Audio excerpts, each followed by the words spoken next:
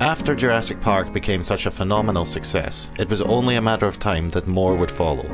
With more than $916 million in ticket sales and home video records being smashed like a T Rex breaking its way through a downed tree, it wasn't a question of if Jurassic Park would get a sequel, but when.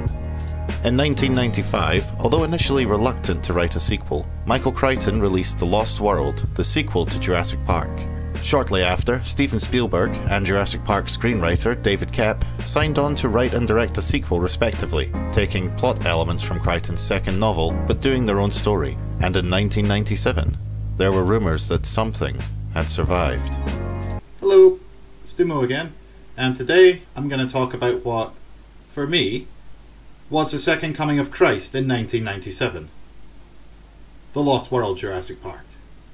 With more dinosaurs, more action, and more daddy, The Lost World was the sequel that said, okay, we know you can do dinosaurs, but what can you do with them? I'll be looking at the screenplay to The Lost World, examining the story synopsis and structure, themes, characterizations, dialogue, and more. Looking at how the film was received upon its release, its impact, legacy, and my own personal thoughts. Once again, we'll be looking at the final edit of the film as the final version of the screenplay. Let's take a deep dive into the Lost World Jurassic Park.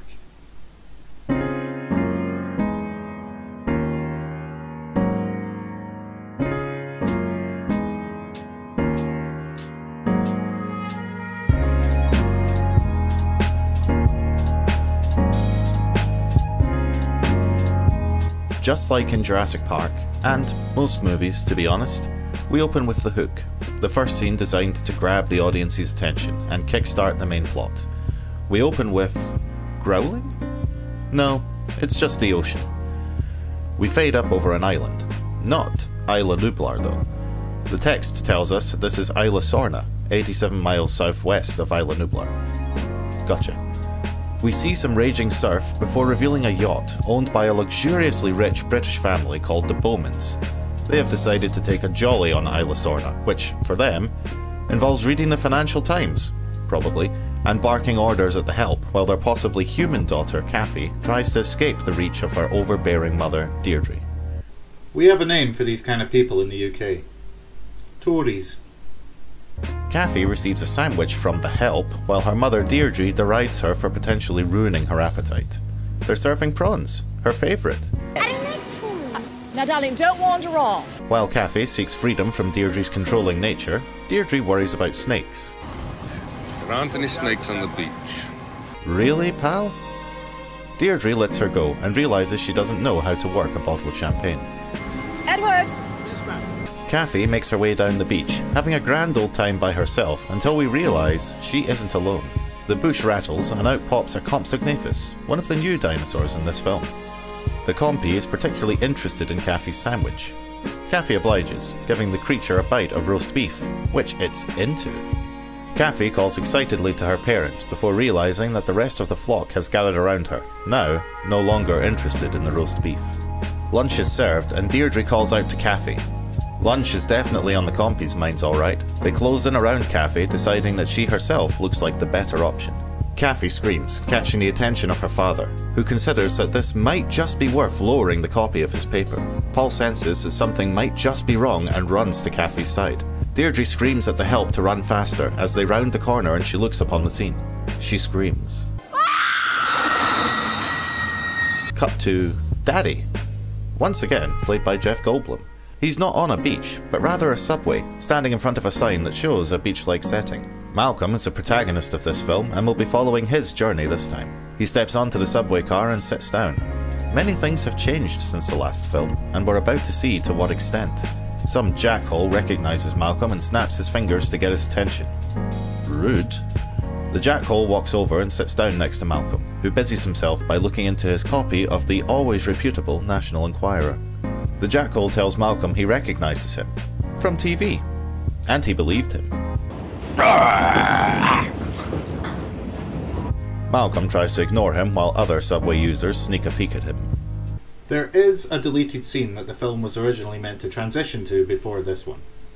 In the scene, Peter Ludlow, John Hammond's nephew, is presenting pictures of the injured Kathy Bowman to the InGen board members.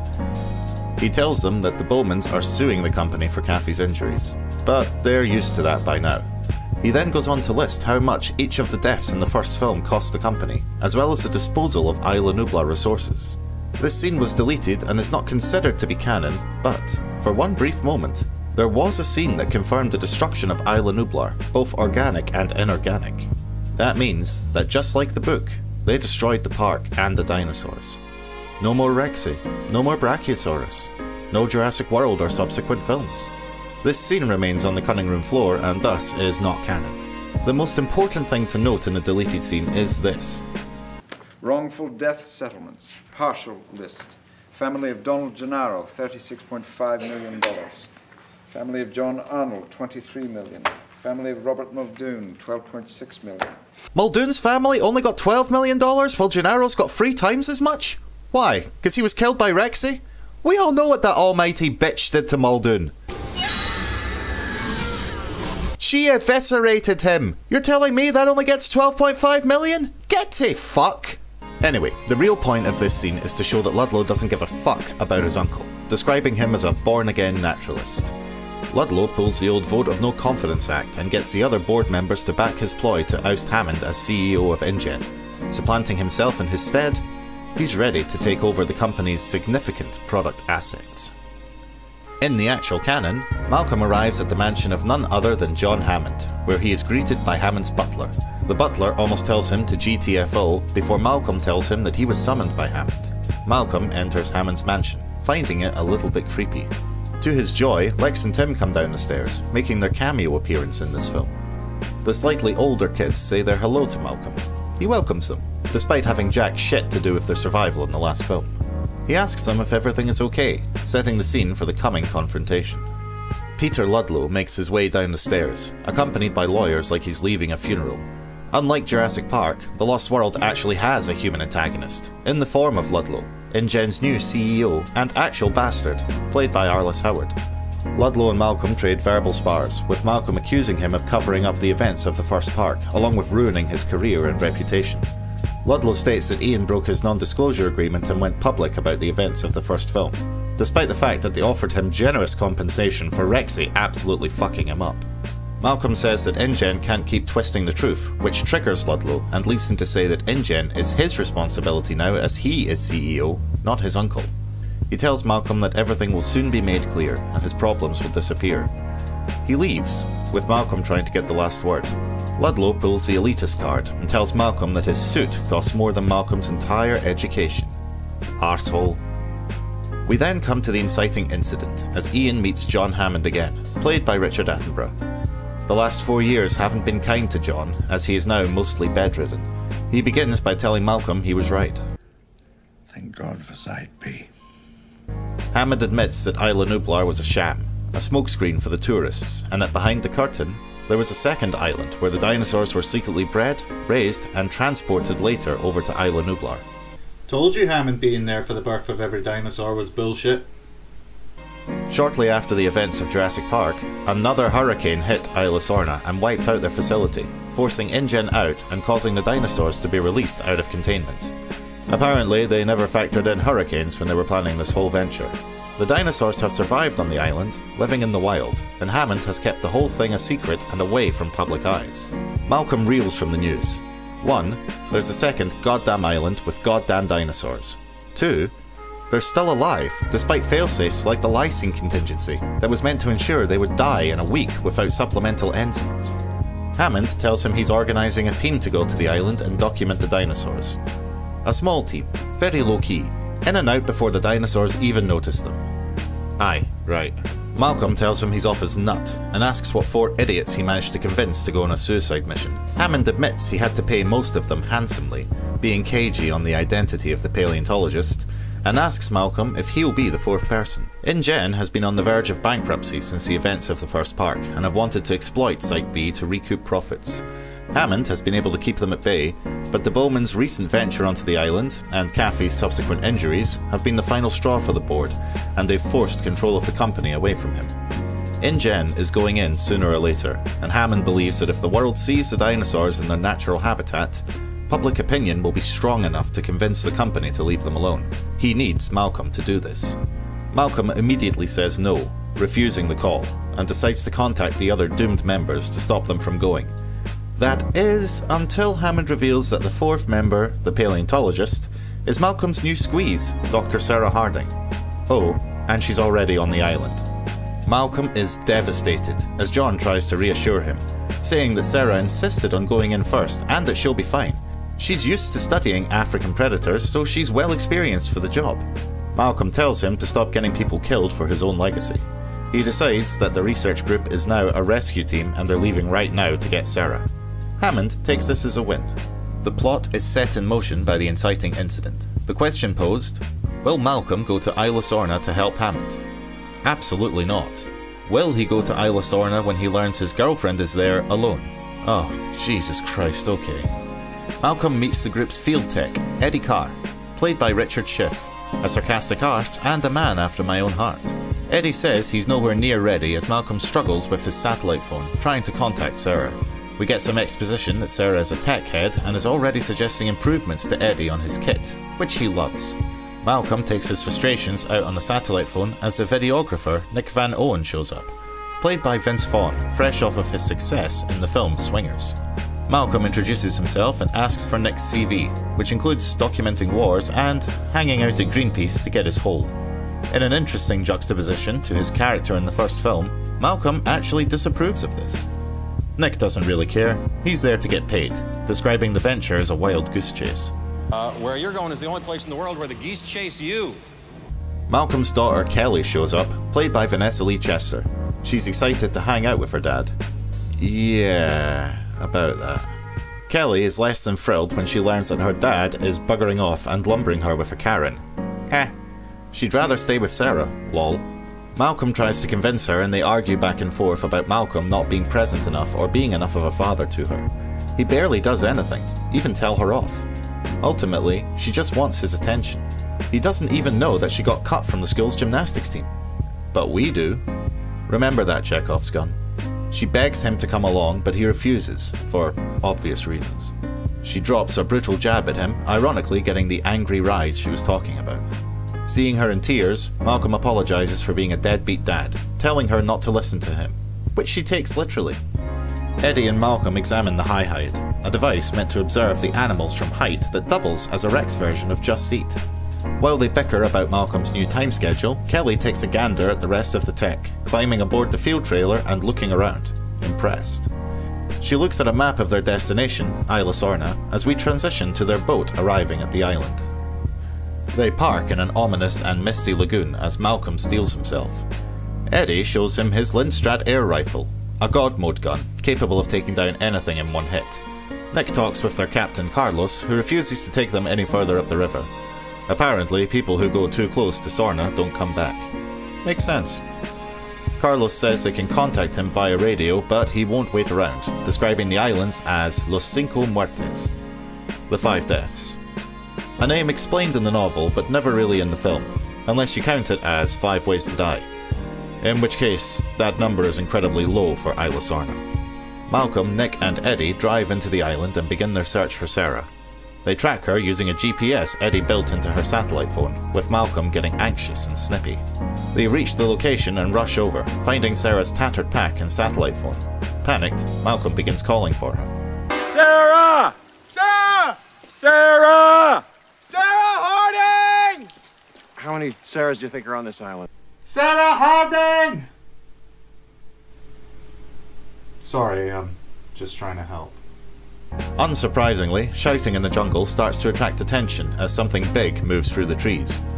A herd of stegosaurs emerges in front of them, astounding Nick and Eddie. Nick starts snapping pictures while Eddie goes through a holy shit dinosaurs moment. Malcolm's seen it all before. Nick climbs onto a log to get a better shot, not noticing Sarah standing off to his side, played by Julianne Moore. Sarah notices him and calls out, causing him to shite himself. She climbs up the log to see Ian and is amazed that he actually came.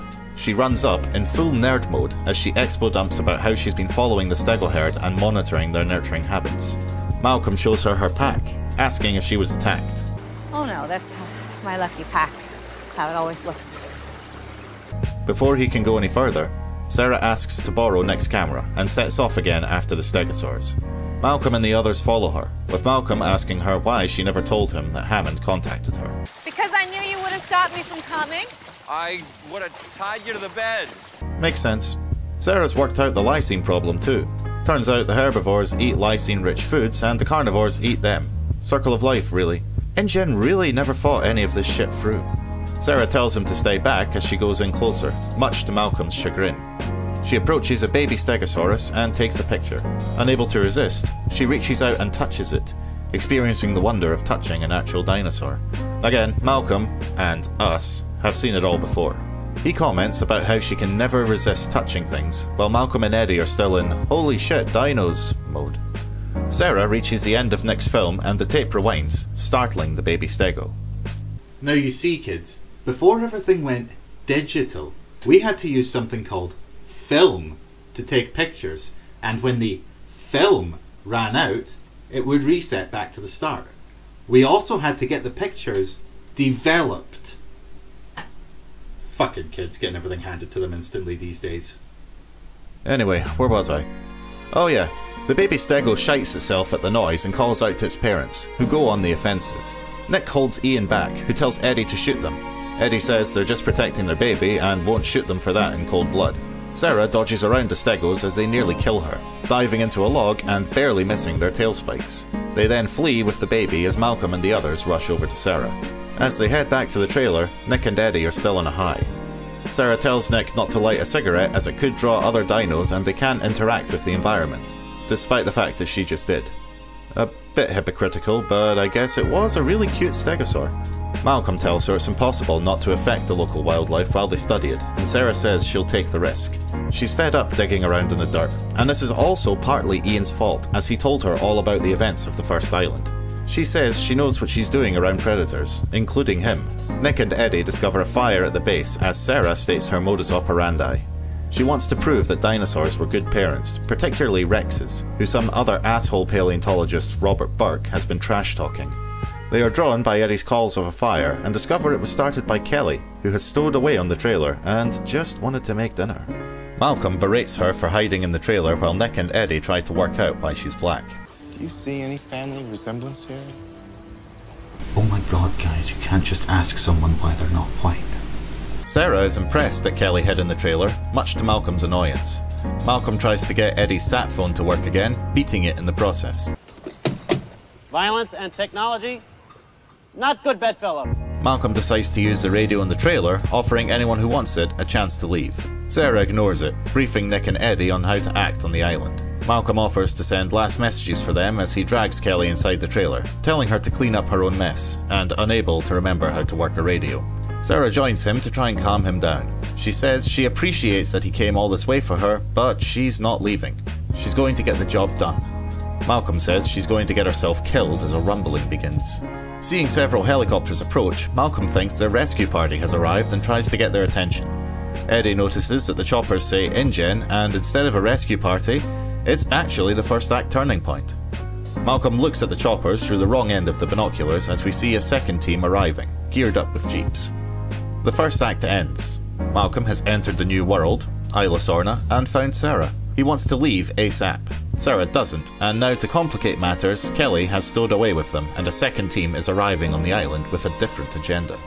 The second act begins with Ludlow leading his team of mercenaries onto the island, saying to set up camp right there. Reveal Roland Tembo, gentleman, philosopher, and hunter extraordinaire, played by the late Pete Postlethwaite, who tells him that's a shit idea. He says this is a carnivore hunting ground and asserts dominance over Ludlow, telling him he doesn't give a shit what he thinks, he's in charge, or it's Dieter. All Ludlow needs to do is sign the checks, and he'll forego his fee as long as he gets to hunt one of the Tyrannosaurs, the buck. If Ludlow doesn't like it, Roland is out, and he can go fuck himself and get everyone killed. Ludlow has only one response. Okay. There's another deleted scene that I should talk about that actually sets Roland's character up earlier in the film.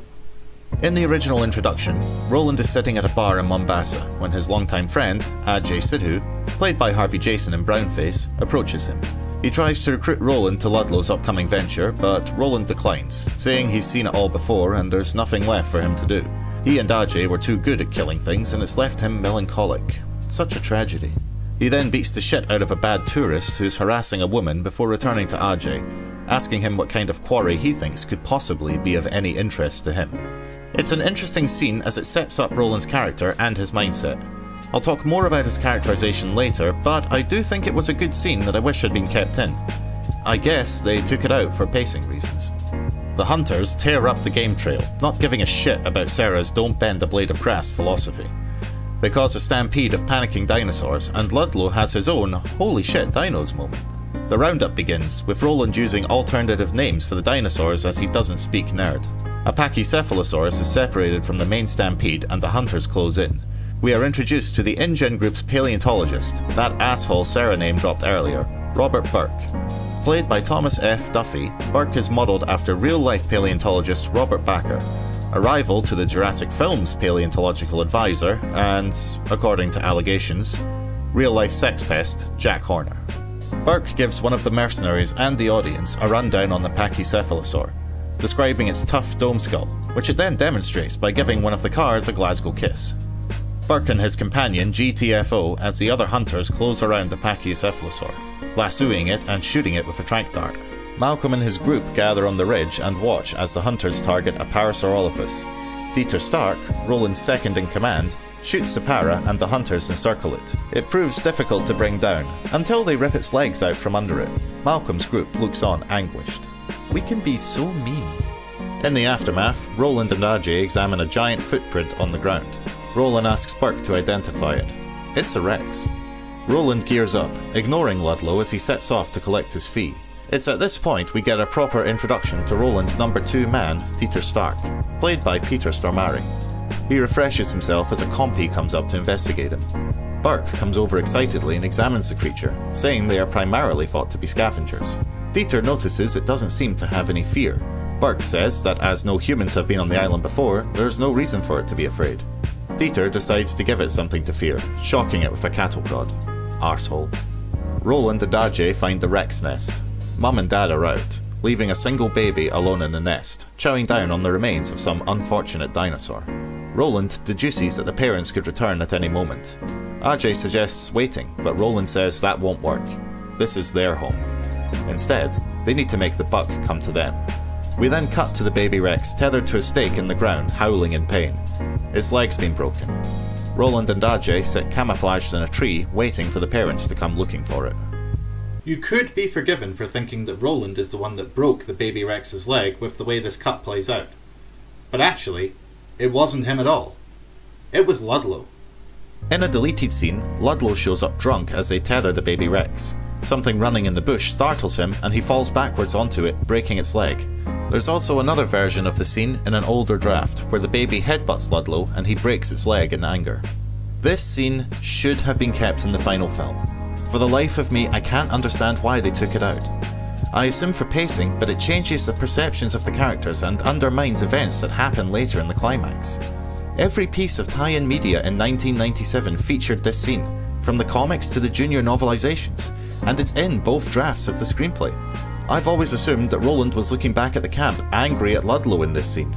But it's not in the film, and while no one says Roland broke its leg, it's an easy assumption for the audience to make. Of all the scenes taken out of this film, this is the one that I wish had stayed in the most. Malcolm and the others spy on the hunter's camp from an overlook, with Sarah becoming dizzy from the height.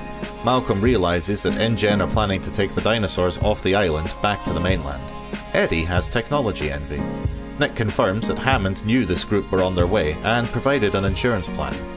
Nick himself, saboteur extraordinaire. Ludlow makes a satellite call to the InGen board members and potential investors, pitching him his vision along with two compies.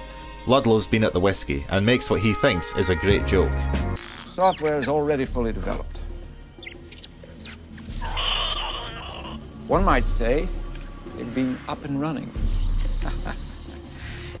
Maybe no more for him, eh? Nick and Sarah infiltrate the InGen camp and find a captive Stegosaurus. They set it free. Ludlow continues his pitch, telling the board members and investors that they're going to bring the dinosaurs back to San Diego to add to the city's already bustling attractions. San Diego Zoo, SeaWorld, San Diego Chargers. Taxi for Ludlow.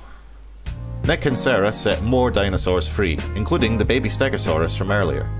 They approach a caged Triceratops, bracing themselves. Ludlow reaches the climax of his pitch Jurassic Park San Diego, using an amphitheatre that was Hammond's original idea that he then abandoned. Deciding he will finish his uncle's work, he tells the investors the park could be completed in less than a month. LOL. The trike fucks shit up as the other dinosaurs run amok. Dieter can only stand and watch as the camp goes up in flames. Roland and Ajay jump out of their tree to avoid a flaming car that has gained the ability to fly. Nick finds Junior and, realizing he's injured, removes the stake. Roland returns to the camp and fires Dieter. That's the last time I leave you in charge. Haha, arsehole. Sarah waits anxiously by the car as Nick returns carrying Junior. Sarah says this is a bad idea, but Nick says they have to help him. Dieter finds a broken padlock and Roland realizes they're not alone. Malcolm and Kelly return to the trailer to once again try and radio their boat for pickup. Eddie is at the high hide as Nick and Sarah drive past, with Junior howling louder than the machine. Malcolm gets a wrong number and tries to talk to a confused woman as Nick and Sarah arrive with Junior. They bring him inside, with Malcolm deriding their decisions. No, no, honey, no. Nick and Sarah examine Junior, with Sarah deciding that they need to set his broken leg or else he's fucked. Malcolm struggles to find Carlos as Kelly puts two and two together and realizes she needs to GTFO. Malcolm takes her to the high hide. The high hide rises up to the treetops as Kelly becomes self aware. So stupid, I'm so stupid. I shouldn't have come along with you. Stupid. Nick and Sarah get to work on Junior, sedating him. Malcolm tries to calm Kelly, telling her that this is the safest place for her and that they'll be fine. With impeccable timing, the Rexes roar into the night. I guess they've returned to the nest and are now looking for Junior. Malcolm calls the trailer to warn Sarah and Nick, but Sarah patches him, forcing Malcolm to head back against Kelly's wishes. He descends to the ground. Personally, I would have squeezed just a little bit harder. Sarah finishes setting a cast to Junior's leg, using Nick's gum to secure it. Junior trips out on the operating table. Eddie and Kelly watch as the Rexes thunder through the jungle, heading towards the trailer. Eddie tries to call them, but Sarah offers him a paddle to go along with a fresh dinghy. Malcolm arrives back, saying that they need to get Junior to fuck. Too late. They watch as the car is kicked over the cliff into the sea below. They look through the window as Mummy, the doe, looks in behind them. She's not alone though, and the buck appears at the other window, startling them. Two Rexes for the price of one. Three, if you count Junior. The Rexes examine the trailer and coo at Junior. The buck roars, leading to a great shot of Sarah. Sarah realizes they've come for Junior, and Malcolm is more than happy to oblige them. Puzzle off.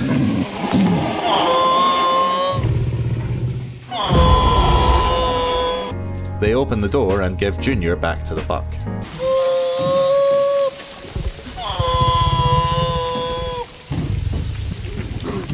Malcolm finally answers the fucking phone as Eddie tells him the Rexes are fucking off back to the jungle. Relieved, the three take a moment, with Malcolm all but saying, I told you so. Sarah decides that the parenting habits of the Rexes are now academic. Malcolm goes to Radio Carlos when he sees something worrying. Hang on, this is gonna be bad. Deciding to give them a parting gift, the Rexes absolutely fuck up the trailers, pushing them towards the cliff. The door is jammed, preventing them from getting out. The Rexes push the back half of the trailers off the cliff, suspending it in midair. Deciding that's enough for now, they fuck off properly. Ian, Sarah, and Nick hold on in the hanging compartment before the fridge breaks and Sarah falls down onto the glass window. Mind how she's scared of heights? Don't move! Aye, I don't think that's a problem, mate. She's fucking petrified. Malcolm climbs down to her as Nick reaches for the rapidly sliding satellite phone. Malcolm tells Sarah to grab his hand as the phone falls, smashing its way through the glass. Malcolm uses Sarah's lucky pack to reach her and she hangs on, now with nothing between her and the raging surf. Your lucky pack!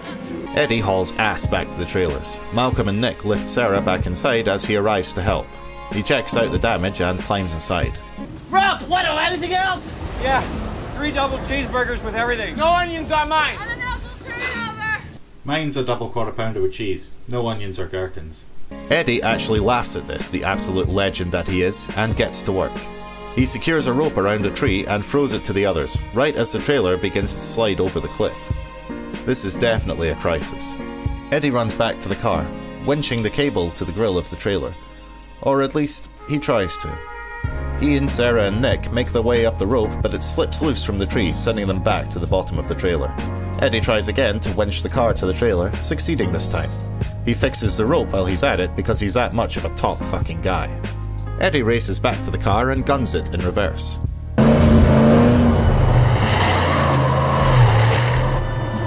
Behold the power of the Benz! Using that fine-tuned German engineering, he begins to pull the trailer back over the cliff. It's starting to look good. He might actually pull this off. Sarah gets some serious rope burn. Things are looking good, until the Rexes remember this is the midpoint and close in around Eddie. They examine him, and we get a callback to the eye shot in the first film. Determined not to let his friends die, Eddie continues gunning the car, which aggravates the buck and the doe. They decide to remodel his car, proving more efficient than German engineering. Eddie tries to grab the God Mode rifle, but it's stuck in the meshing of the seat. The buck rips him from the car, and together, they give him what I consider to be the coolest death in the entire franchise. This is for you, Eddie. I'm not actually going to pour alcohol onto the floor of my spare room. I'm not going to waste the product. I will drink it though. With nothing to stop them, the trailers fall over the cliff, along with Eddie's now destroyed car. Sarah climbs up, where she is greeted by Roland. Hesitantly, she takes his hand. Nick and Ian are helped up by the rest of the InGen group, who have picked up Kelly en route. Both groups take stock at the InGen camp. They're fucked. All of their communications are down, and now they have no way of radioing for a way off the island. Tensions are high. Then we're stuck here, ladies and gentlemen, and stuck together thanks to you people. Dieter wants a square go, and Nick obliges. Roland recognizes him from Earth First, and they argue before Sarah warns him of the bigger picture. By moving Junior into their camps, they've changed the Rex's territory. Even Burke agrees, saying that's why they had to come back to finish the trailers. Realizing they need to GTFO, Ludlow suggests they head to the InGen worker village. Turns out Hammond ran everything on geothermal power like a hippie, and thus the communication systems should still be working. There's one problem though, and it's not just Ludlow's alcoholism. The communication centre is deep within Velociraptor territory. Burke gives us and Dieter a refresher on how dangerous the raptors can be. Sarah says the Rexes will probably be on their trail too, which Burke disagrees with. No, no, you're wrong there, Dr. Harding. We'll lose them once we leave their territory. No, don't bet on it. Tyrannosaurus got the largest proportional olfactory cavity of any creature in the fossil record with the exception of one. Ludlow can't handle nerd talk and suggests they make a move. Malcolm recommends a lagoon, but they all agree Carlos is too smart just to come by, and Roland suggests that they move now as the Rexes currently aren't hungry. Malcolm tells him to press F to pay respects for Eddie, but Roland says fuck that. Saddle up! Let's get this movable feast underway! Both teams, now forced to work together, trek through the jungle. Nick catches up to Roland, asking him why he's so insistent on killing the buck. Roland tells him the story of some madman. TLDR? It's the ultimate hunt for him, a worthy foe. Malcolm and Ludlow trade barbs over their ventures, with Ludlow going for a low blow by mentioning Eddie. Malcolm tells him he'll never be John Hammond, and that taking the animals off the island is a terrible idea. And uh, I'm gonna be there when you learn that. Dawn sees our combined group continuing on. Roland notices the blood from Sarah's shirt and calls a five minute break. He asks if she's injured, with her telling him it's Junior's blood and it won't dry in the humidity. Roland goes off with Ludlow, leaving his gun unattended. Nick sees an opportunity to fuck with him. Dieter decides he needs to take a shite and heads off into the jungle, telling Carter to wait for him. Unfortunately, he's wearing a very old version of noise cancelling headphones and didn't hear him. Oh well. Dieter gets down to business when he hears a noise. That compy from before gives him a jump scare. Dieter pays it back by shocking it again, like an arsehole boss to an employee. He makes his way back to the group, but finds himself turned around. He calls out to Carter, who obviously can't hear him.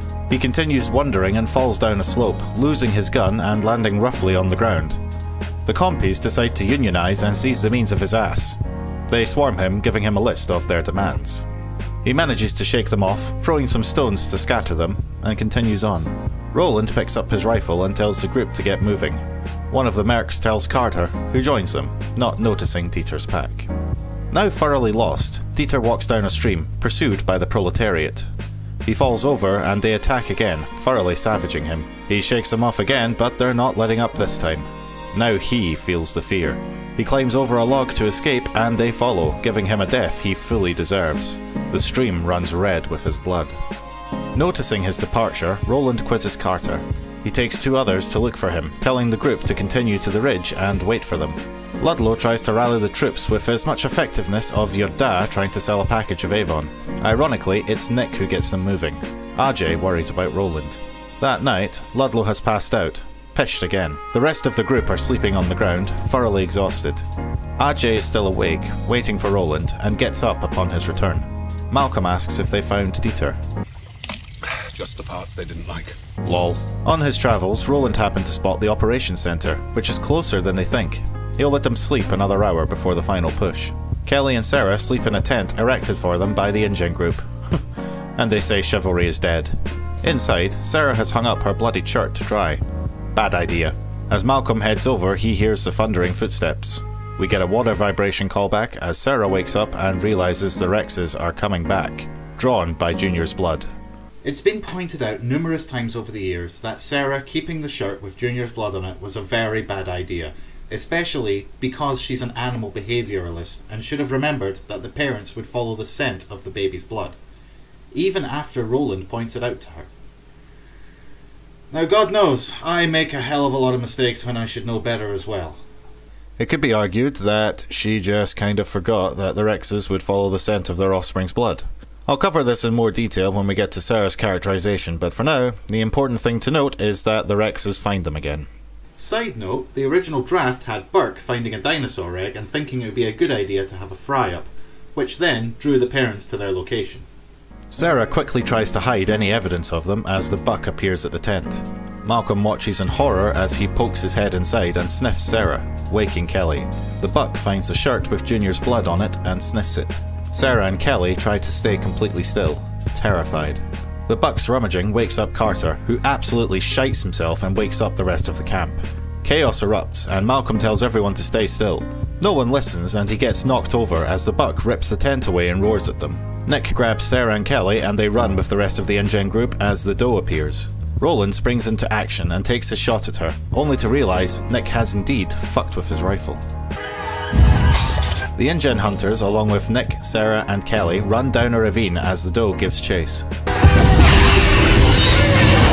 Carter falls and is trampled by the group, and then by the doe, who carries him for three steps before he falls off, presumably with nothing left of his internal organs. Roland regroups, grabbing a trank rifle and approaches the buck, who is still back at the camp. He fires a dart. Yeah, you might need another one there, pal. Roland frantically reloads as the buck approaches him. Nick realizes the futility of trying to outrun a Rex and guides Sarah and Kelly to a waterfall to hide. Burke decides he wants to get in on it as well, but he leads the doe in with him. Trapped in the waterfall, the four of them have nowhere to go as the doe tries to get at them, just out of her reach. A snake crawls down Burke's shirt, causing him to shite it and run, straight into the doe, who decides to make a double kill. Nick, Kelly, and Sarah brace for her to return, but it's Malcolm that comes through next. He thanks Nick for saving them. The InGen group keep running, emerging out of the jungle and into a field of long elephant grass. Clearly the more experienced hunter, Ajay tells them to stay out. Don't go into the long grass! They don't listen, and out of loyalty, he follows them, throwing his pack away. He should have trusted his instincts as several raptor heads rear out of the grass. The group continue through the field as the raptors close in from both sides like torpedoes. They start making stealth kills, taking them down one by one. The hunters notice and panic, fleeing in all directions. The raptors take them down, including Ajay, who is killed off screen. Deleted scene alert Ajay did actually have a death that was filmed but never included. In the chaos, he stops running and sees a raptor coming up from a fresh kill that charges at him. He closes his eyes and awaits his fate. The previous draft even had Roland and Malcolm watching from above, and Roland turns away as his friend is killed. It's a shame the scene isn't in the film, and it's one of the ones I wish had been included. Ian, Sarah, Nick, and Kelly enter the field, following the trail of the InGen group. Nick stops, finding Ajay's bag. They hear the screams of the dying hunters and the growl of the velociraptors. Go. As fast as you can. Fortunately, the raptors are too preoccupied chowing down and barely even snap at them as they run past. They reach the tree line and fall down a slope to the InGen compound, where Malcolm hurts his ankle. Nick volunteers to go ahead as time is of the essence and Sarah and Kelly stay with Ian. Nick runs into the village and reaches the abandoned operations centre. You'd expect at this point, with a character running off alone, that he'd be jumped straight away, but luckily, nothing comes at him. He does shite himself at a mural of Jurassic Park and Rexy, but otherwise he's okay. He enters the communications centre and powers it up, radioing for help.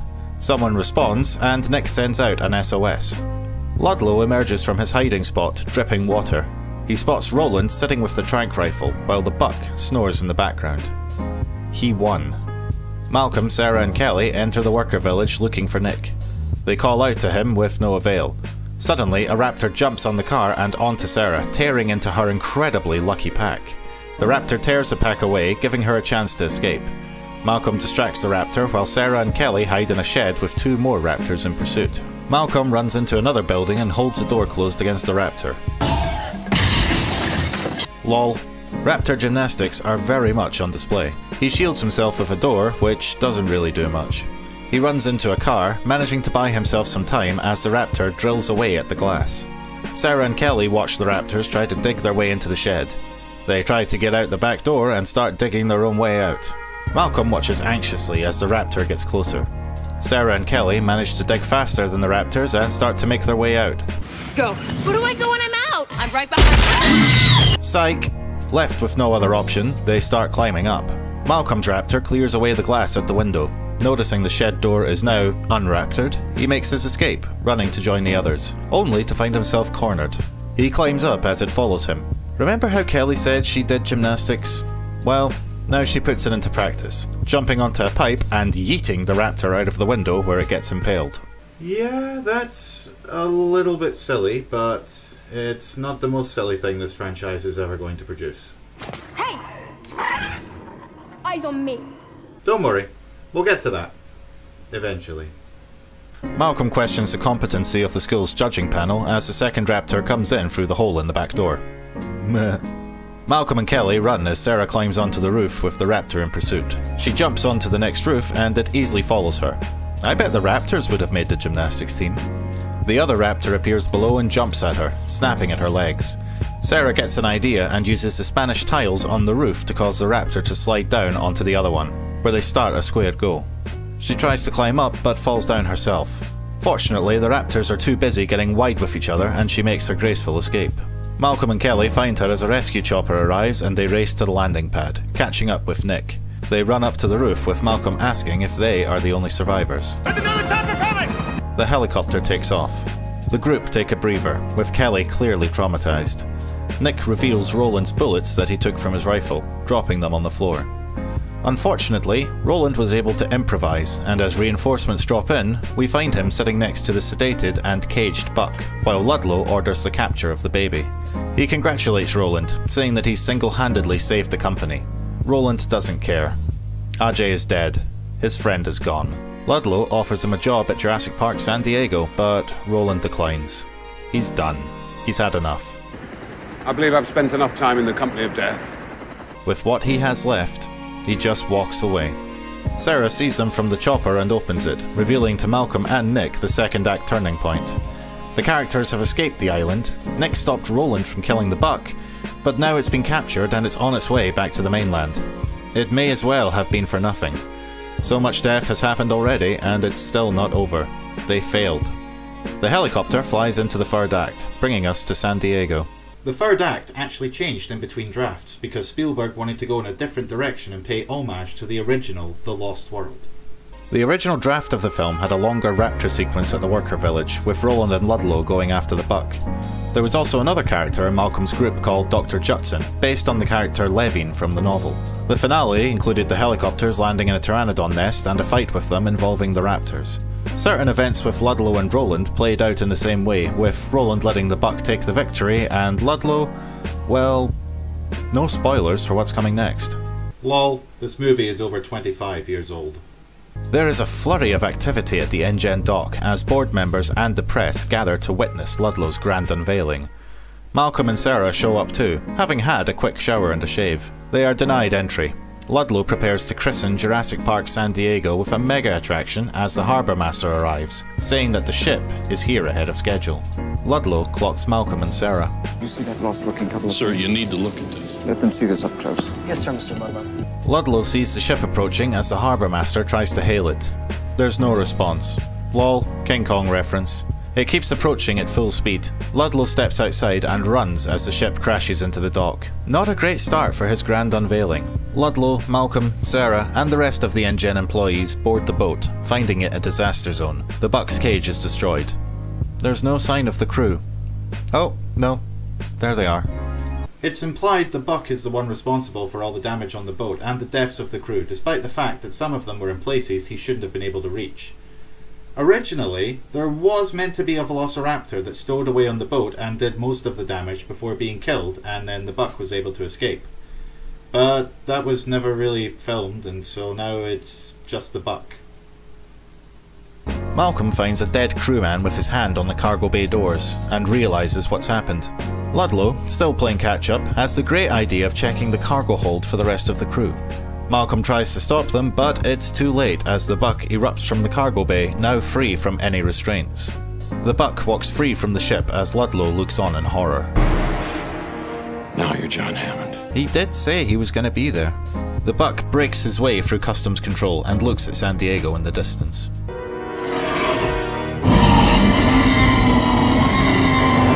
Sarah berates the InGen staff for not keeping the Rex properly sedated. Apparently, the two darts Roland used were too much and they had to give it something to counteract the effects, but they went too high. Malcolm asks if Junior was on the boat, but the crewman tells him he was brought back by plane. Sarah has an idea grab the baby and lure the buck back to the boat before he kills anyone in the city.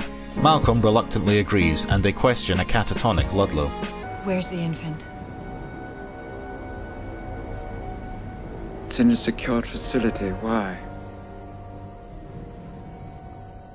Where's the facility? The buck takes a stroll through the neighbourhood, mistaking an outdoor pool for drinking water. He does some breaking and entering, rousing Benjamin in the process, who wakes up to see a goddamn T Rex in his backyard. He quickly goes to his parents as the buck discovers what chlorine tastes like and takes a shine to the family dog. Benjamin wakes his parents, who bicker about who's the worst parental figure, before realising he's right and seeing the buck chowing down on Fido. Poor puppy. Those negligent assholes should have kept him inside. Revealing that he's a sadistic bastard who never even liked the dog, Benjamin snaps a photo of the moment, angering the buck. The scene cuts there, but there was more filmed where the buck broke through the wall and gave them a sniff. Whether or not he finished the job, I don't know. I'll leave the fate of the negligent animal owners up to your own interpretation. Malcolm and Sarah do some breaking and entering of their own, making their way into Jurassic Park San Diego and finding Junior, once again heavily sedated. A guard tries to stop them, and Malcolm tells him to come ahead as they leave looking for the buck. The buck is full on jacking it through downtown San Diego. Cars crash, streetlights are assaulted, and buses are accosted. That bus was one day away from retirement. The Rex sends the bus into a blockbuster because he wants to be the only dinosaur in town. There's also a blink and you'll miss it poster for a King Lear adaptation starring Arnold Schwarzenegger. The Buck harasses some Japanese businessmen who just can't catch a break from this shit. Even David Koepp is caught up in the rampage. The Buck targets him, disagreeing with the direction the third act has taken, and has an early morning snack. Malcolm and Sarah catch up to the Buck. I'm gonna go out jacking it in San Diego. They try to wake up Junior, but it's not necessary, as the Buck catches his scent in a flipped shot and charges after them. They lead him back to the dock as the police and animal control arrive. Lol, on your way. Junior has woken up and is very talkative while Malcolm tries to find a way through the warehouses. That works. Ian and Sarah run with Junior as the Buck follows them into the climax. Ludlow tells InGen security to shoot the Buck, but he wants the baby alive, trying to salvage something from this debacle. He sees Malcolm and Sarah carrying Junior and goes after them, chasing them back onto the ship. He catches up in time to see them both jump overboard. He looks around for the baby as a helicopter appears, searching for the Buck. Ludlow hears Junior calling out and realizes he's in the cargo hold. He goes down and finds the now unmuzzled Junior. He tries to catch him as the buck shows up. Game over, pal. Now face to face with the buck, Ludlow shites it and tries to run away. The buck catches him, breaking his leg and dropping him on the floor next to Junior. Ludlow tries to limp away, but the buck knocks him over. It's time for Junior to make his first kill. Ludlow realises this all too late as Junior pounces on him and the buck looks on with approval. Ian and Sarah climb back onto the boat as the helicopter arrives. Ian pushes the button to close the cargo doors as Sarah loads a tranq dart into the rifle she just found. The black moment arrives as the InGen sniper takes aim at the buck. Sarah is faster though and fires a tranq dart into his neck, sedating him and saving his life.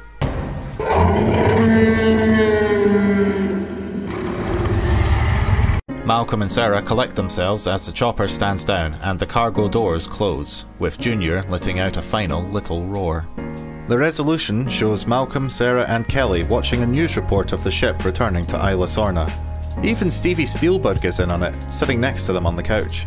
Malcolm and Sarah have passed out, and Kelly watches as an interview with John Hammond plays on the news report. Able to get himself out of bed, Hammond makes an impassioned plea to the public and local governments to work together to keep the island safe and undisturbed. In an epilogue, we see the ecosystem of Isla Sorna, with the buck and the doe looking after Junior, the Stegosaurus herd passing by, and some pterosaurs? Where the fuck have they been? Fade out.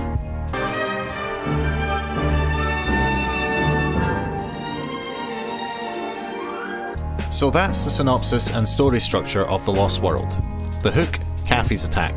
The inciting incident, Hammond revealing Site B to Malcolm and Sarah already being there. The first act turning point, InGen's arrival. The midpoint, the destruction of the trailers, Eddie's death, and the two groups being stranded. The second act turning point, the escape from the island but the buck being taken captive, and the climax, jacking it in San Diego. It follows the traditional three act structure like the first film did, building momentum and stakes to the conclusion. Now, let's take a look at the rest of it.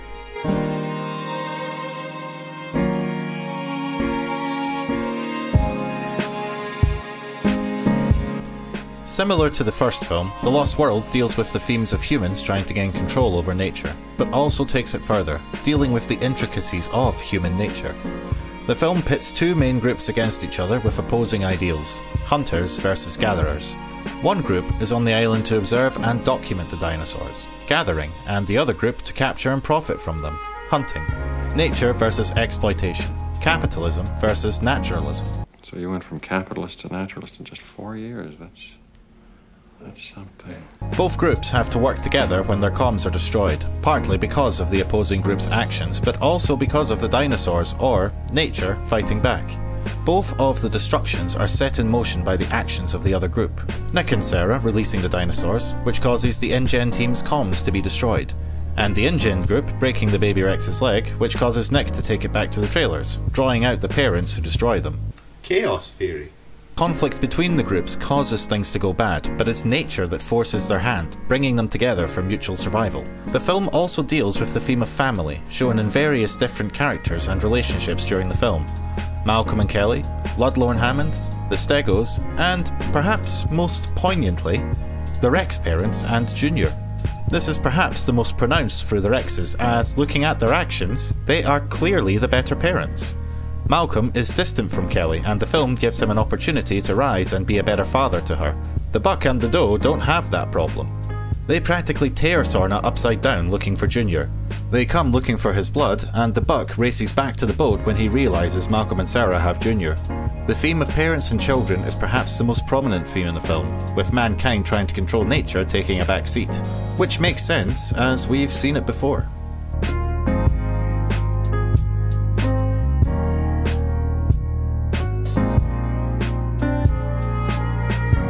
Despite being a supporting character in the first film, this time around, Malcolm is the protagonist. He's the main character in the second book, despite dying at the events of the first one, saying that rumours of his demise were greatly exaggerated. He was then transferred to a better hospital where doctors upgraded his condition to alive. It's probably 100% due to Jeff Goldblum's portrayal of him in the first film, along with Koepp's writing. The audience connected with him, his quips, his charm, and now he's back to lead film number two. A little less flirtatious and a little more serious this time. Less daddy, more dad. He's still a shagger, but he's jaded, traumatized by his experiences in the first film. Archetypally, he's still the lover, and that drives his motivations. He's still got the jester's quips, but they don't hold as much sway over him. He wants nothing to do with Sorna or Hammond's dinosaurs, but as soon as he learns Sarah is there, he follows his heart to rescue her. His arc in the film is one of redemption. Redemption for his career, redemption for his livelihood, but also redemption for him as a father and a boyfriend. He wants to go and rescue Sarah, but he needs to be there for her. Not just in Sorna, but also in real life. If you wanted to rescue me from something, why didn't you bail me out of that fundraiser at the museum three weeks ago like you said you would? You know, I have made a career out of waiting for you. He also needs to be a better father to Kelly. He's flaky, unreliable. Kelly wants him to yell at her because he never does anything. She doesn't really want him to shout and rage at her, she just wants him to be a father, to be present. The second Malcolm finds Sarah on the island, he's immediately on edge. He knows how quickly and easily things can go wrong and just wants to get them out as soon as he can. He's nervous, jittery. He forgets how to operate Eddie's radio despite being told and keeps a death grip on Kelly. Cut the umbilical, Dad! All throughout the first half of the film, he could be described as a nervous mess. It's not until the midpoint that the communications are destroyed that he starts to become the hero. Still led by his heart, he rises to the challenge. He stays awake, works with Roland, he patrols the camp before the Rex attack and tries to tell everyone to stay calm when they show up. Although he gets injured again running through the long grass, he tries to be the one to go to the communication center. He leads the first raptor away from Sarah and Kelly, and when the buck is taken back to San Diego, it's him, along with Sarah, that do what needs to be done to get him back on the ship. He gets his redemption for his career and his livelihood, but he also gets his redemption with them. The final scene in the film shows them together, stronger as a family, going into the future. There's a deleted scene that was filmed just before the Rexes come looking for Sarah's shirt, where Kelly asks Malcolm if she's going to marry her. She tells him he should. It's not in the film, but I thought it was worth mentioning. Don't you just love it when these films set up things that they ultimately drop? Sarah encapsulates the explorer. She wants to push the boundaries of what humans know about dinosaurs. She's curious and driven in her goal to prove that dinosaurs are good parents, to the point that she doesn't even care about her own safety. She's reckless, and at times a bit hypocritical, saying that the group needs to minimize their presence while taking the opportunity to touch a cute Stegosaurus. While writing this, I initially thought her character to be a victim of inconsistent characterization in service of the plot, breaking her own rules so that we could get a cute dinosaur moment with the baby stego, and straight up forgetting her own knowledge about predators when it came to the bloodied shirt because the Rexes needed to find the group again. Tyrannosaurus got the largest proportional olfactory cavity of any creature in the fossil record with the exception of one. It wasn't until I reconsulted character archetypes that I noticed another word sticking out among the explorer archetype unreliable. Not as a negative, but just as a facet of the characterization. Unreliable in her own rules because she follows her heart. Not just because, my own cynicism thwarted, we could get an, oh, look at the dino moment. As I mentioned before, she's reckless. Unreliable when caring about her own safety, and this comes back to bite her when the Rexes destroy the trailer and she finds herself facing her worst fear heights. She would have died when the glass broke if it hadn't been for Malcolm and her lucky pack. From this point on, she's off kilter. Her mind isn't working the way it should. She's exhausted, sleep deprived, and she becomes unreliable in her own knowledge, not realizing that the blood that won't dry will draw the buck and the doe to the camp. It's actually consistent with the character's archetype. It remains subjective and open to interpretation, but this is the one I choose to have given her characterization. Perhaps a better way to have the Rexes find the group again would be to have Nick be the one to get Junior's blood on him. He could have stashed the shirt in a bag, setting up the Chekhov's gun of the blood without Sarah seeing, and then hung it up to dry later. Although this would have meant that the Rexes would have gone after him instead, and the whole scene would have been different. But I digress. Although flawed, I think the blood on Sarah's shirt works. Throughout the rest of the island, her wits manage to keep her alive, using her intelligence to outwit the raptors. And once on the mainland, she puts what she's learned about the Rexes into practice, being the one who comes up with the idea of using the baby to draw the buck back to the boat, wiser from her experiences on the island. Hammond is once again the herald to the events in the film, as well as the creator. He only has two scenes this time around, but his presence is still impactful, and we catch him at the end of an arc that is a natural progression from where he was at the end of the last film.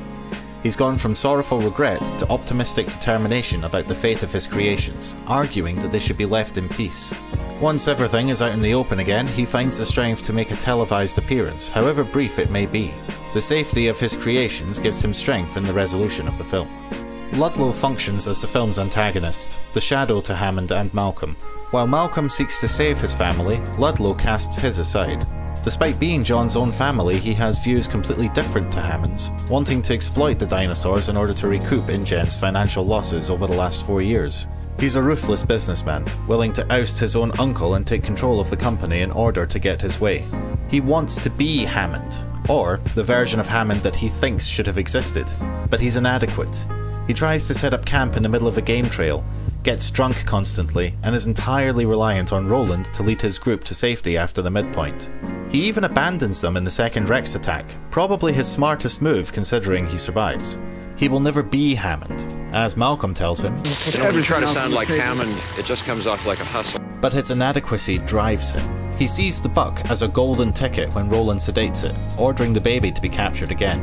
He brings them back to San Diego, but he's unable to contain the buck, losing control and, ironically, being the closest he will ever be to his uncle in this moment. From that point on, he's catatonic, until in his panic he tells him to shoot the buck, while still thinking he can make something from the baby. His delusions lead to his death in the cargo hold. His death is a complete role reversal and a cathartic, poetic revenge to the way he treated Junior in a deleted scene, but unfortunately, I can't really include it as it was cut from the film. Again, I wish it had stayed. Nick embodies traits from the ally, the trickster, and the outlaw, an ally to Malcolm's group and a trickster to InGen's. He's an outlaw, working for Greenpeace and against a man, but also cynical. He's in it for the paycheck. That is, until he sees that the dinosaurs are real. From that point, he's committed to the safety of the animals, doing whatever it takes to achieve that goal. He sabotages the camp and Roland's gun. Unfortunately, he ultimately fails, as although he saves the Rexes from being killed, it instead leads to the buck being captured. Many people blame Nick for the events in the film and the subsequent deaths. After all, it's him who sets the dinosaurs free, which destroys the InGen camp. He's the one who takes Junior, which destroys their own camp. And he takes the bullets from Roland's gun, leading to the deaths from the Raptors and the buck being taken back to San Diego. I think this is wrong though.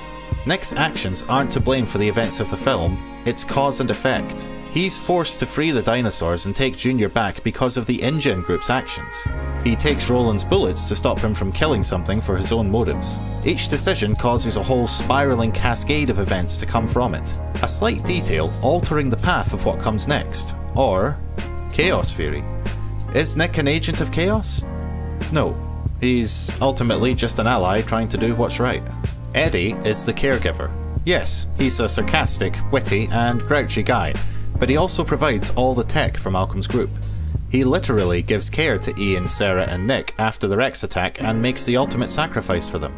He's selfless, loyal, and a stand up guy.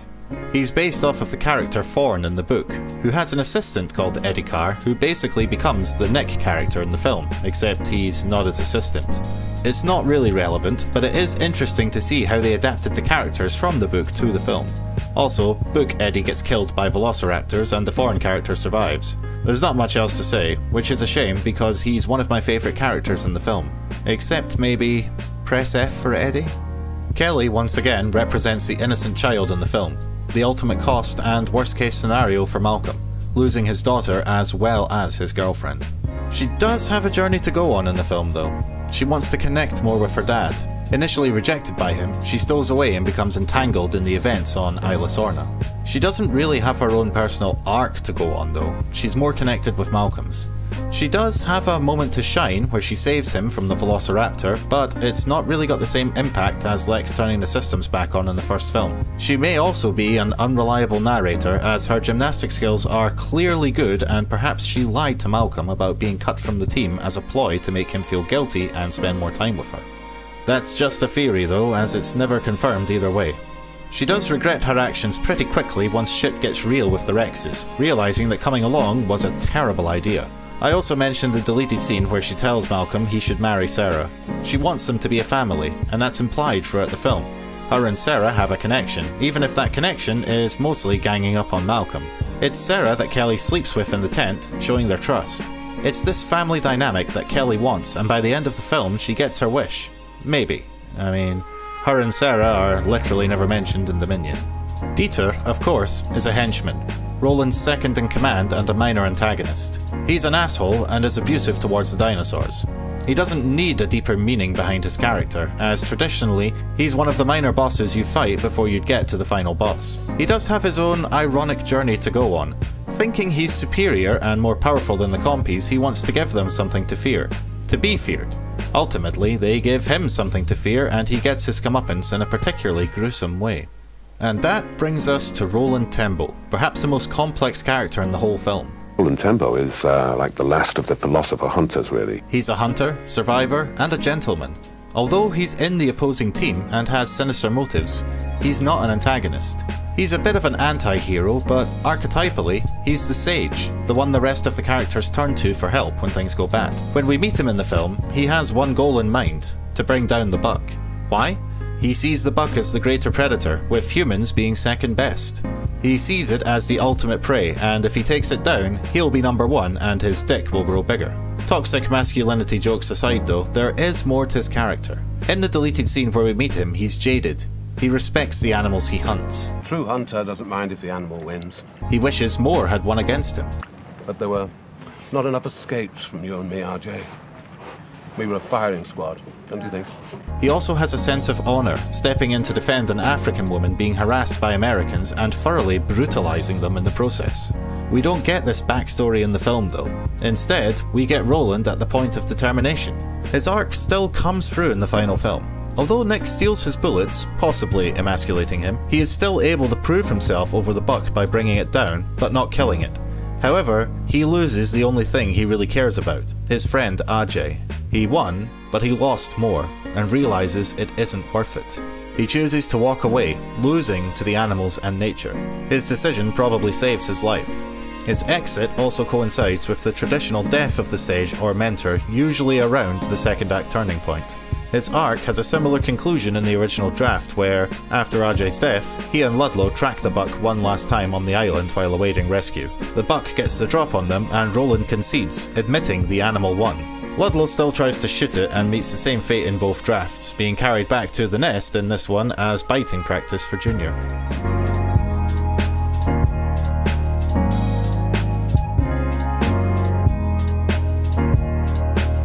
There are some bits about the dialogue in The Lost World that I really like, and some bits that I'm not so hot on. There are some really good lines in the film, I love the banter between Malcolm and Eddie, particularly Eddie's sarcastic frustration at Malcolm's ineptitude in the first half of the film. Violence and technology, not good bedfellows. Personally, I would have squeezed just a little bit harder. Roland gets some good lines. Oh, you're breaking our hearts. Saddle up. Let's get this movable feast underway. I believe I've spent enough time in the company of death. And then there are lines that feel slightly forced. Every egg clutch I've seen has got shells crushed and trampled. The hatchlings definitely stay in the birth environment for extended period of time. That's conclusive. Exposition dumps don't feel as clean, although they do still serve their purpose and move the plot forward. They just feel more wordy. I pointed out in the last film that the characters talk the way people normally would speak, but I can't say the same about this one. Kelly in particular talks with a maturity that isn't present in a lot of 12 year olds. Yeah, but I want you to crack on me a little bit, ground me or something, send me to my room. You never do any of that stuff. She says exactly what she wants from Malcolm, but in real life, people don't always say what they mean. Maybe there are some 12 year olds that break this rule, but on the whole, even adults don't say what they really mean all the time. They usually argue about something insignificant, something that shouldn't have led to an argument but does because of something else boiling underneath, something that the audience can usually see and is aware of. Dialogue is usually more subtle. Roland's introduction in the film begins with a big monologue, and it's cool, but if you really look at it, he's basically laying out terms that he would already have laid out earlier.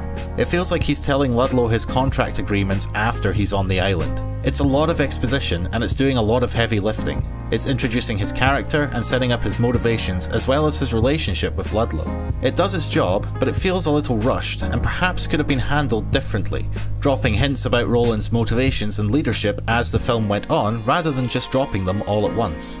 Postlethwaite's performance elevates the dialogue, and on the whole, both he and Koepp do a good job with the character. It's just not great, or perhaps a better word, realistic. Some leeway can be given as it's a film about genetically cloned dinosaurs brought back to life, but a standard was set with the first film, and unfortunately, this one doesn't quite match it. There are, however, a lot of good standalone lines, even though they come across as trailer fodder. Oh, yeah, ooh, ah, that's how it always starts. But then later there's running and, and screaming. Mommy's very angry. I feel like I'm coming across quite harsh on the dialogue of this film, but I don't hate it. I just feel that it could have been better in a few places. The sequel to the movie that's made nearly a billion dollars worldwide. So can The Lost World live up to its Jurassic Park predecessor? Amy Powell found the answers in the stars. The Lost World had its premiere on the 19th of May 1997, releasing theatrically four days later on the 23rd, and had the biggest release recorded for a film to that date. The hype was real for this one. It had the biggest opening weekend recorded until the release of Harry Potter and the Philosopher's Stone and ended its run with over $600 million worldwide. Less than the first film, but still very impressive for the time. Reviews were mixed, and for those that care, it holds a 54% approval rating on Rotten Tomatoes. The audience score was a B+. Reviewers criticised the human characterizations but praised the visual effects once again. Many were less than hot on the third rampage, describing it as a Godzilla ripoff. Malcolm, Attenborough, and Postlethwaite received commendation for their performances, with some noting better character development from the first film. None of that really held the film back. The fans were there, so was the Dinomania, and also the merchandising. Merchandising! Where the real money from the movie is made. There were whole new lines of toys to captivate children based on the film. Something has survived. Look for the mark of Jurassic Park figures and vehicles, each sold separately. The film was nominated for an Academy Award for Best Visual Effects again, but this time it didn't win, losing instead to Independence Day. John Williams returned to do the score, creating new themes for the film. They're not as memorable or get used as much as the original film's score, but like anything John Williams, they're still bangers. More drums are incorporated into the score this time, emphasising the wildness of Sorna and the locations. There's a general rule when it comes to sequels. Audiences and the studio want the same, but different. It's a bit of a contradiction, but basically it means they want the same experience, just in a different package. The Lost World strived to present the same dinosaur adventure movie, but this time, it was different. It's not an island where we lose control and the dinosaurs escape. They already have before the film begins. This isn't them taking over, we're going into their territory. It's their world. I'm sorry. The same sense of adventure is there, but this time it's bigger, grander. We're not running through new high tech facilities, but climbing through decayed, ruined ones. The Lost World brought that sense of adventure in spades, and audiences, please excuse the pun, ate it up. It wasn't as financially successful or groundbreaking as the first film, but how could it be? The same lightning in a bottle effect of Jurassic Park couldn't be replicated. We had already seen the dinosaurs, so now it was time to unleash them, to see what they could do. There was some ground broken with the visual effects though. The animatronics by Stan Winston went a step beyond, able to interact more with the characters and the environment. When you see the buck rip Eddie out of the car, it really did. That's Richard Schiff being hauled out by the animatronic. They were able to do more, particularly with the buck animatronic. It wasn't just the adult ones either. The Baby Rex is a fully real, remote controlled animatronic that Steven Spielberg described as Stan Winston's masterpiece. Regardless of any views on the quality of the film, consideration has to be given to the craftsmanship on display. As it has aged, reviews have still been mostly mixed, with some loving it and others considering it an inferior sequel that focused on action over story and is one of Spielberg's more inferior films. There is still a generation of 90s kids who love the film and it is still with them today.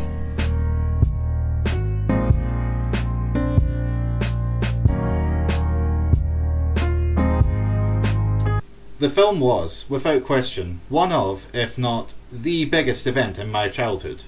I know that's probably a bit sad to say, but this film was an event for me. I had heard of a sequel a few years before, and by the time it came out, the hype was more than real. I had the posters, I had the tie in comics, I had the junior novelization. I even had Bubble Bath that came in a Rex shaped container that you could use as a toy once it ran out. I even had the Bull T Rex toy that my dad bought for me as a gift while we were on a trip to America, which was my pride and joy, as well as a completely legitimate copy of the film that he sent from overseas. The wait for that was the longest wait of my life. I even got a PlayStation on Christmas 1997 complete with the Lost World PS1 tie in game. Unfortunately, over the years, some of these things have disappeared due to events outside of my control, but I have been able to hold on to the Jurassic Park and Lost World double set that my grandmother got me for Christmas one year. mean, just fucking check these things out. So cool. Childhood relics aside, I loved this film, and to be honest, I still do today. As I've gotten older, I've started to see some of the flaws, and maybe some of it is nostalgia, but this film still has a hold over me. However, I do see the issues with it. The film suffers considerably from several of the deleted scenes that I've mentioned being left on the cutting room floor.